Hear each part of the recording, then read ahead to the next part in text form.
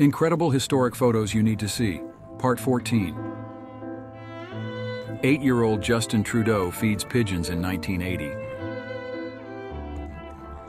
Michael Jackson, 1978. Arikara Warrior Bear's Belly, North Dakota, USA, 1909.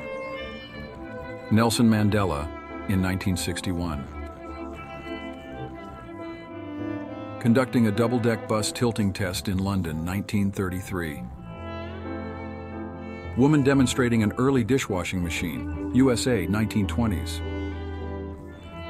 Washing and panning gold, Rockerville, Dakota, 1889. Electric car and charging station, 1912. McDonald's Eden Car Drive-In Hollywood, 1935.